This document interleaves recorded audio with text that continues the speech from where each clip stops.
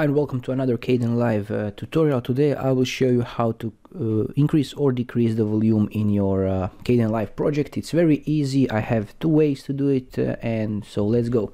To do that uh, click on your audio clip over here, go to audio effects and over here you can click volume and dynamics and just drag gain effect to your uh, audio clip and over here you can increase or decrease the gain i will delete this and if you want to edit volume volume just drag drag and drop this volume keyframeable and uh, right now you can uh, you can also add uh, or subtract your uh, gain. You can see this little uh, ball is moving like this and you can also double click it where you want to add some audio points and if you want just to increase some parts of your video like this and you want to reduce some other parts like this for example and you will see your uh, audio curve over here and this is how you increase and decrease the levels and the volume in uh, Kdenlive. Thanks for watching. If you find this helpful, drop some comments below and bye bye.